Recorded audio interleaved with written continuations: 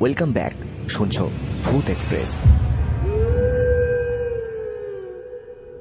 Welcome back প্রত্যেককে স্বাগত জানাচ্ছি ভূত এক্সপ্রেসের একশো এক নম্বর এপিসোডে গতকাল আমি এপিসোড আপলোড করতে পারিনি, তার কারণ আমার শরীরটা একটু খারাপ ছিল, তাই আজ একটু ঠিক আছি বলে আজ এপিসোড আপলোড করলাম। আশা করছি আজকের এপিসোডটা দারুণ লাগবে তোমাদের।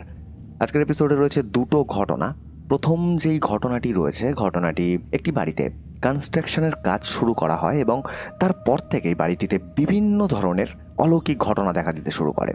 এরকমই একটি ঘটনা রয়েছে এপিসোডের শুরুতে এবং দ্বিতীয় যেই ঘটনাটি রয়েছে, সেই ঘটনাটিও একটি বাড়িকে নিয়ে এবং এই ঘটনাটি একটি পৈতৃক বাড়িকে নিয়ে। সেই বাড়িটি বহু বছর ধরে বন্ধ থাকার কারণে সেই বাড়িটিতে কিছু প্যারানর্মাল অ্যাক্টিভিটিস হওয়া শুরু হয়।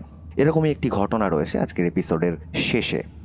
শুরু করব আজকের এপিসোড চলে যাব ঘটনায়। আমি শুভ আছি তোমাদের সাথে, আর তোমরা শুনছো ভূত এক্সপ্রেস।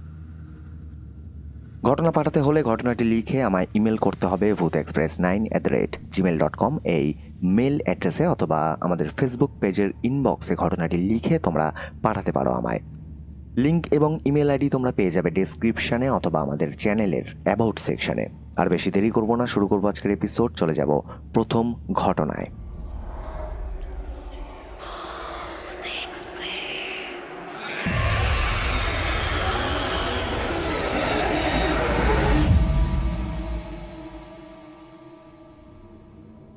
ঘটনাটি লিখেছেন গৌরব চক্রবর্তী। তিনি যেইভাবে লিখেছেন, আমি সেইভাবেই পড়ে তোমাদেরকে শোনাচ্ছি। নমস্কার, আমি গৌরব চক্রবর্তী, ঠিকানা পশ্চিম বর্ধমান। ঘটনাটি ঘটেছিল আজ থেকে দু বছর আগে আমার এক বন্ধুর বাড়িতে। সেই সময় তার বাড়িতে কনস্ট্রাকশনের কাজ চলছিল।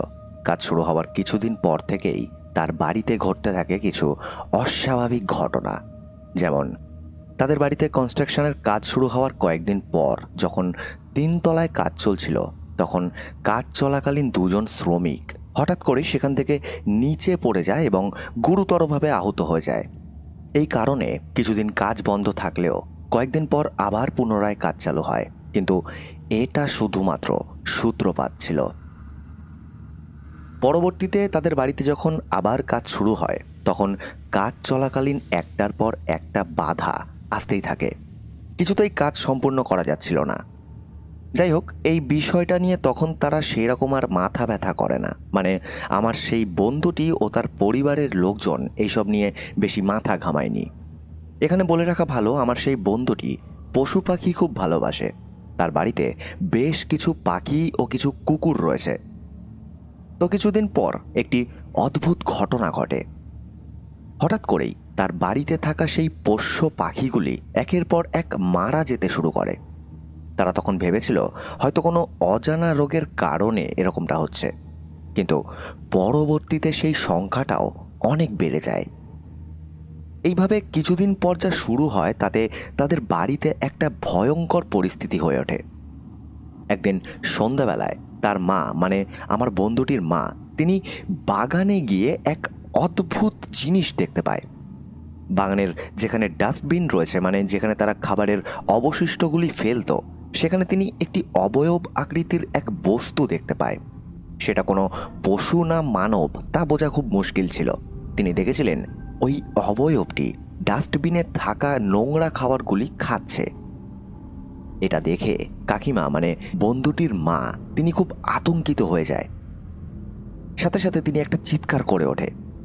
সেই চিৎকার শুনে যখন ঘরের সবাই তার কাছে যায়, তখন তারা কিছুই দেখতে পায় না সেখানে।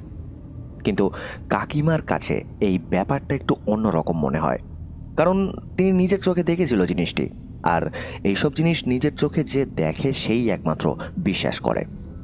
তো আমার বন্ধু এবং তার বাবা এই বিষয়টিকে কোনো এক পশুর কাজ বলে উড়িয়ে দেয়। ঠিক তার পরের দিন, মাঝরাতের দিকে হঠাৎ করে কাকিমার ঘুম ভেঙে যায় এবং তিনি শুনতে পায় বাড়ির ছাদ থেকে দশ বারো সেকেন্ড পর পরই একটা শব্দ হচ্ছে। সাথে সাথে কাকিমা কাকুকে জাগিয়ে তোলে আর সেই আওয়াজটা তখনই বন্ধ হয়ে যায় মানে আগের মতনই আবার সব কিছু ঠিকঠাক হয়ে যায়। কিছুক্ষণ পরে যখন সবাই আবার ঘুমিয়ে পড়ে, ঠিক তখনই আবারও সেই আওয়াজটা হওয়া শুরু হয়। এবার কাকুও সেই আওয়াজটা শুনতে পায় এবং তৎক্ষণাৎ তিনি ছুটে যায় ছাদে, কিন্তু কোনো কিছুই তিনি দেখতে পায় না। সব থেকে অদ্ভুত ব্যাপার হলো তাদের খাওয়া দাওয়ার পর যেই অবশিষ্ট খাবারগুলি থাকতো, সেগুলি যখন রাস্তার কোনো কুকুর বেড়ালকে দেওয়া হতো, তখন সেই খাবারগুলি তারা কিছুতেই খেতে চাইতো না। তাদেরকে যদি মাছ মাংস দেওয়া হতো, তারা সেটাও খেতে চাইতো না। এরপর যেটা হয়, সেটা আমার বন্ধুর সাথে ঘটে। বন্ধুটার বেডরুমটা ছিল বাড়ির বাগানের সাথে লাগোয়া। তার অভ্যেস ছিল রাত জেগে পড়াশোনা করার। তো একদিন রাতে পড়াশোনা করার সময় ওই ঠিক মাঝরাতের দিকে সে একটা গোঙানির শব্দ শুনতে পায় এবং সাথে সে রাস্তার কুকুরদের প্রচণ্ড চিৎকার শুনতে পায়। কিছুটা সাহস করে সে যখন জানালা দিয়ে উকি মেরে দেখার চেষ্টা করে, তখন সে দেখে তাদের বাগানের লেবু গাছে একটি অবয়ব বসে রয়েছে এবং রাস্তার কুকুরগুলো সেই গাছের দিকে তাকিয়ে প্রচণ্ড জোরে চিৎকার করছে। অবয়বটির মুখ চোখ ওই অন্ধকারে ঠিকমতো কিছুই বোঝা যাচ্ছিল না। এই ভয়াবহ দৃশ্য দেখে বন্ধুটি জোরে একটা চিৎকার করে ওঠে। চিৎকার শুনে তার মা বাবা জেগে যায় এবং তারা দৌড়ে তার কাছে আসে। পুরো ঘটনাটা শুনে তার বাবা বাগানেও যায় দেখার জন্য, কিন্তু তিনি কিছুই দেখতে পায় না। পরপর এরকম অস্বাভাবিক ঘটনা ঘটার কারণে তাদের প্রত্যেকেরই সেদিন বিশ্বাস হয়ে যায় যে তাদের বাড়িতে কিছু একটা তো আছে। এই ঘটনার পর বাড়িতে দুদিন ধরে পুজো অর্চনা করা হয় এবং পরিস্থিতিও কিছুদিনের জন্য স্বাভাবিক হয়ে যায়। কিন্তু কিছুদিন পরেই আবারও মাঝরাতে বন্ধুটির মা ও বাবা শুনতে পায় ছাদের ওপরে কেউ যেন দৌড়ে বেড়াচ্ছে। সেই একই রকমই আওয়াজ রাতের দিকে আবারও আসছে ছাদ থেকে। পরিস্থিতি ভালো না দেখে তার বাবা ঠিক করে যে সে তার গুরুদেবের আশ্রমে যাবে এবং দরকার হলে তাকে ডেকে নিয়ে আসবে বাড়িতে। এর পরের দিনই তার বাবা রওনা দেয় সেই আশ্রমের উদ্দেশ্যে। বন্ধুটির বাবা বাড়ি থেকে বেরিয়ে যাওয়ার কিছুক্ষণ পরেই তার মায়ের শরীরটা হঠাৎ করেই খুব খারাপ হয়ে যায়। এটা খুবই অদ্ভুত একটা ঘটনা ছিল, কারণ তার বাবা বাড়ি থেকে বেরানোর কিছুক্ষণ পরেই তার মা প্রচণ্ড অসুস্থ হয়ে পড়েছিল। সেদিন রাতে ঘুমানোর পর বন্ধুটির মা একটা স্বপ্ন দেখলেন। তিনি দেখলেন একটি লম্বা আর রোগা আকৃতির অবয়ব তার গলা টিপে ধরছে এবং তাকে বলছে, আমার রক্ত চাই। আমি তোর রক্ত খাওয়ার জন্যই এখানে এসেছি। সেই সময় কাকিমা মানে বন্ধুটির মা খুব জোরে একটা চিৎকার করে ঘুম থেকে উঠে পড়ে। সাথে সাথে আমার বন্ধুটি গিয়ে তার চোখে মুখে জল দেয় এবং সে লক্ষ্য করে তার মায়ের গলায় একটা দাগ রয়েছে। গলায় ফাঁস দিলে যেরকম দাগ হয়ে যায়, ঠিক সেরকমই একটা দাগ সে তার মায়ের গলায় লক্ষ্য করে। তো কাকু মানে বন্ধুটির বাবা, সেদিন ভোরেই পৌঁছে যায় গুরুদেবের আশ্রমে। গুরুদেবকে কিছু বলার আগেই সেই গুরুদেব তাকে দেখে কিছু একটা বুঝতে পারে এবং তাকে বলে ওঠে যে, তোরা খুব বড় একটা বিপদের মধ্যে পড়েছিস। তোদের ঘরে যে এসেছে সেটি কোনো স্বাভাবিক আত্মা না। সে একটি পিসাজ এবং এই পিসাজটিকে তোদের বাড়িতে তন্ত্রবিদ্যার মাধ্যমে চালান করা হয়েছে। অর্থাৎ বান মেরে চালান করা হয়েছে। এই প্রক্রিয়াকে বলা হয় পিসাজ বান। তিনি আরও বলেন যে, তোদের খুব কাছেরই কেউ একজন এই কাজটি করেছে তোর স্ত্রীকে মারার জন্য। এই কথা শুনে বন্ধুটির বাবা গুরুদেবকে এর উপায় জিজ্ঞাসা করে। গুরুদেব বলেন, আমার এক শিষ্যকে তোর বাড়িতে নিয়ে যা। আমি ওকে সব বুঝিয়ে দেবো কি করতে হবে।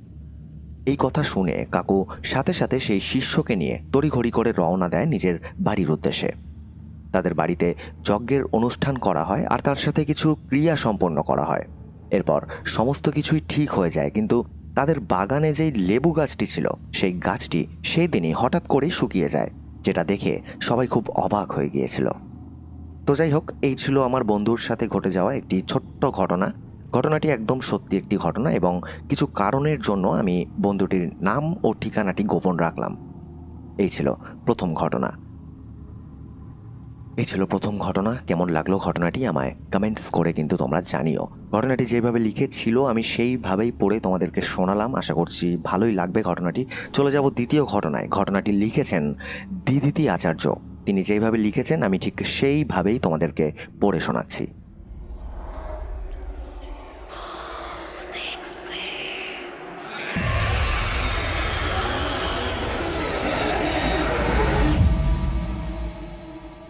ঘটনাটি আমার এক দাদার থেকে শোনা। একদিন আড্ডা মারতে মারতে ভূত প্রেত নিয়ে কথা ওঠায় সেই দাদা আমাকে এবং আরও কয়েকজনের সাথে একটি ঘটনা শেয়ার করে। ঘটনায় আসা যাক। দাদার এক বন্ধু আছে, তার নাম অর্ণব দা। তাকে আমরাও চিনি। ঘটনাটি তার সাথেই ঘটে যাওয়া একটি ঘটনা। এই অর্ণব দা আর তার পরিবার চন্দননগরে থাকতো বহু বছর ধরে। কিন্তু এই অর্ণবদাদের আসল পৈতৃক বাড়ি ছিল অশোকনগর, যেটা বহু বছর ধরে, প্রায় বাইশ বছর ধরে বন্ধ পড়েছিল। কিন্তু অর্ণবদার মায়ের হঠাৎ করে ক্যান্সারের লাস্ট স্টেজ ধরা পড়ায় তার মা শেষ জীবনটা ওই অশোকনগরের বাড়িতেই কাটাতে চায়। তখন অর্ণবদা আর রিমি বৌদির মেয়ের বয়স ছিল এক বছর। রিমি বৌদি হলো অর্ণবদার স্ত্রী। তো অর্ণবদা তার পরিবার নিয়ে মায়ের শেষ ইচ্ছা মতোই সেই পৈতৃক বাড়িতে চলে আসে। প্রায় বাইশ বছর পর সেই বাড়িটা সারিয়ে মেরামত করে ওই বাড়িতে তারা ঢোকে। অর্ণবদার মেয়েও তখন খুবই ছোট ছিল। সাথে অর্ণবদার মা, তিনিও খুব অসুস্থ ছিল। তাই রিমি বৌদি একা হাতে সব কিছু পেরে উঠবে না দেখে তারা বাড়িতে একটি আয়া রাখার সিদ্ধান্ত নেয়। এরপর তারা দুবেলা কাজের জন্য দুজন আয়া রাখে। একজন সকাল আটটা থেকে রাত আটটা অবধি ডিউটি করত আর আরেকজন যিনি ছিল, সে রাত আটটা থেকে সকাল আটটা অবধি ডিউটি করত। যেই আয়াটি সকালবেলা আসতো, সে সন্ধ্যা হলে প্রায় দিনেই বলতো, বৌদি, তোমাদের ঘরে না সন্ধ্যের পর থাকতে খুব ভয় করে। মনে হয় ঘরে কেউ চলাফেরা করছে, কারও উপস্থিতি অনুভব হয়। আমি আর সন্ধ্যে ছটার পর কাজ করব না। তুমি টাকা কম দাও, তাও আমার চলবে, কিন্তু সন্ধ্যের পর আমি আর থাকব না এখানে। অর্ণবদার স্ত্রী মানে রিমি বৌদি, তখন ভাবে হয়তো এসব ফাঁকি মারার জন্য সে বলছে। এরপর তারা সন্ধ্যের পর কাজের জন্য অন্য আয়া রাখে। কিন্তু দু থেকে তিন দিন কাজ করার পর সেই আয়াগুলো বলতে শুরু করে যে, বৌদি, তোমাদের বাড়িতে না সন্ধ্যের পর আমরা কাজ করব না। এরকমভাবে পরপর তিন চারজন আয়া যখন কাজ ছেড়ে তাদের বাড়ি থেকে চলে যায়, তখন অর্ণবদা আয়া সেন্টারে ফোন করে খবর নেওয়ার জন্য যে, কি ব্যাপার? সব আয়ারাই কাজ করতে আসছে, কিন্তু সন্ধ্যের পর কেউ আর কাজ করতে চাইছে না কেন? তখন আয়া সেন্টার থেকে সে জানতে পারে, প্রতিটা আয়া যারা সন্ধ্যের পর কাজ করত, তারা সবাই নাকি সন্ধ্যের পর তাদের বাড়িতে একটি গোঙানির শব্দ শুনতে পেত। তাদের মনে হতো সিঁড়িতে কেউ যেন চলাফেরা করছে। তাদের মনে হতো কেউ তাদের সামনে দিয়েই চলাফেরা করছে, অথচ তারা কিছুই দেখতে পাচ্ছে না, তারা অনুভব করতে পারত, কিন্তু তারা দেখতে পেত না কিছুই। এরকমভাবে দু তিন মাস। বেশি টাকা দিয়েও আয়া রেখেও কিছু হয় না। শেষমেশ অর্ণবদা নিজেই রাত জেগে তার মায়ের সেবা করা শুরু করে। কয়েকদিন পর অর্ণবদার মা মারা যায়। অর্ণবদার মা বেঁচে থাকাকালীন তিনিও একবার দুবার সেই গোঙানির শব্দ শুনতে পেয়েছিলেন। এরপর রিমি বৌদি মানে অর্ণবদার স্ত্রী, একদিন রান্না করার সময় সে অনুভব করে তার পাশে কেউ যেন দাঁড়িয়ে রয়েছে আর নিঃশ্বাস ফেলছে। সে একটা নিঃশ্বাস ফেলার শব্দ শুনতে পায়। রিমি বৌদি এটা স্পষ্ট অনুভব করেছিল। কিন্তু যেহেতু সে কিছুই নিজের চোখে দেখেনি, তাই সেরকম একটা গুরুত্বও দেয়নি এই সবে। একদিন রিমি বৌদি তার মেয়েকে খাটের একদম মাঝখানে বসিয়ে পাশের ঘরে যায় কিছু একটা আনার জন্য। তাদের মেয়ে তখন অনেক ছোট ছিল, তাই সে তার মেয়েকে খাটের একদম মাঝখানটাতে বসিয়ে দৌড়ে যায় পাশের ঘরে কিছু একটা আনতে। সে যখন পাশের ঘর থেকে আবার ফিরে আসে, সে দেখে তার মেয়ে খাটের একদম কোনায় ঝুলে রয়েছে, আর একটু হলেই তার মেয়ে নিচে পড়ে যাবে। এটা দেখে বৌদি খুব অবাক হয়ে যায়, কারণ অত ছোট বাচ্চার পক্ষে কিছুতেই ওই খাটের কোনায় চলে আসা সম্ভব না, কারণ একটা বাচ্চা কিছুতেই অত দ্রুত খাটের কোনায় চলে আসতে পারে না। আবারও একদিন তার চোখের সামনে আরও একটি ভয়ানক ঘটনা ঘটে। রিমি বৌদি তার বাচ্চাটাকে খাটে বসিয়ে কিছু একটা করছিল। তার মেয়ে তার চোখে চোখেই ছিল, কিন্তু হঠাৎ করে সে দেখে তার মেয়ে খাট থেকে নিচে পড়ে গেল। তার মনে হলো কে যেন তার মেয়েকে টান মেরে খাট থেকে নিচে ফেলে দিল। এটা দেখে বৌদি প্রচণ্ড ভয় পেয়ে গিয়েছিল। এই ঘটনার কথা সে তার স্বামীকেও জানায়। তারা বুঝতে পারে তাদের বাড়িতে কিছু একটা তো আছে। কারণ দিন দিন যা ঘটছিল সেগুলো কিছুই স্বাভাবিক ছিল না। এরপর তারা ঠিক করে তাদের বাড়িতে কোনো ওঝা টোঝা নিয়ে আসবে, কিন্তু তার পরের দিনই, তারা যেদিন ভেবেছিল বাড়িতে ওঝা নিয়ে আসবে, সেদিনই হঠাৎ বৌদির বাপের বাড়ি থেকে কিছু আত্মীয় স্বজন তাদের বাড়িতে চলে আসে। অর্ণবদারা থাকতো নিচের ঘরে আর উপরের ঘরটা ফাঁকাই থাকতো। তো বৌদির সেই বাপের বাড়ির আত্মীয়দের তারা উপরের ঘরে থাকার ব্যবস্থা করে দেয়। সেদিন রাতে ঘুমিয়ে পড়ার পর হঠাৎ রাত তিনটে নাগাদ প্রতিটা আত্মীয় যারা ওপরের ঘরে ছিল, তারা সবাই একসাথে নিচে নেমে আসে আর অর্ণবদাকে ঘুম থেকে জাগিয়ে তুলে বলে ওঠে, আমরা এখানে আর থাকব না অর্ণব, আমাদের খুব ভয় করছে এখানে। তোমাদের বাড়িতে মনে হয় কিছু সমস্যা আছে। হঠাৎ হঠাৎ করে গোঙানির শব্দ কানে আসছে, আবার মনে হচ্ছে কেউ যেন ছাদে লাফালাফি করে বেড়াচ্ছে। মাঝের মধ্যে বারবার দরজায় কেউ ধাক্কা দিচ্ছে, আর যখনই আমরা দরজা খুলছি, তখনই দেখছি বাইরে কেউ নেই। আমরা এখানে আর থাকব না। তোমাদের বাড়িতে অনেক সমস্যা আছে, আমরা আজ রাতেই চলে যাব এখান থেকে। সেই রাতটা কোনো রকমে কাটিয়ে পরের দিনই ভোর ভোর তারা যে যার মতো চলে যায়। এরপর অর্ণবদার মেয়ে হঠাৎ করেই খুব জ্বরে পড়ে যায়। কিছুতেই সেই জ্বর আর সারতে চায় না। তখন পাশের বাড়ির একজন তাদের বাচ্চার ওই অবস্থা দেখে তাদেরকে বলে যে, বাচ্চাদের অনেক সময় হাওয়া বাতাস লাগে, তাই তাদের বাচ্চাকে একটু ঝাড়িয়ে আনতে। এরপর অর্ণবদা আর বৌদি তাদের বাচ্চাকে যেখানে ঝাড়াতে নিয়ে যায়, সেখান থেকে তাদেরকে বলা হয়, তোমাদের বাড়িতে একটি অশুভ শক্তি আছে। তোমাদের সব কাজে সে বাধা দেবে, কিন্তু তোমাদের প্রাণে কোনোদিন মারবে না। তোমাদের অনেক ক্ষতি করবে, কিন্তু তোমাদের প্রাণে কোনোদিন মারবে না। তোমাদের ভালো কাজ কোনোদিন সে করতে দেবে না। এরপর অর্ণবদা আর বৌদি তার বাচ্চাকে নিয়ে ওই পৈতৃক বাড়িটা ছেড়ে চলে গিয়েছিল। জানি না তারপর তারা ওই বাড়িতে আর গিয়েছিল কিনা। এই ছিল ঘটনা। এই ছিল আজকের এপিসোডের দুটো ঘটনা। কেমন লাগল আজকের এপিসোড আমায় কমেন্টস করে জানিও। সবাই ভালো থেকো। আজকের মতো শুভরাত্রি।